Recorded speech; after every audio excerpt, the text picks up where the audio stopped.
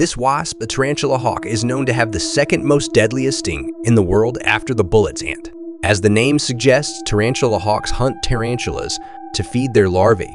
The tarantula hawk paralyzes them and lays its eggs on the immobilized tarantula. The larvae will slowly eat the tarantula from the inside until it dies. If a tarantula hawk stings a human, it is the same pain as getting stung by a heated nail or getting a severe electric shock that can last for multiple minutes.